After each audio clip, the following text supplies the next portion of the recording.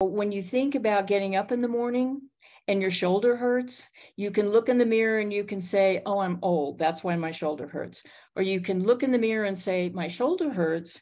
I need to work on that today. I need to Google something that says shoulder pain, whatever.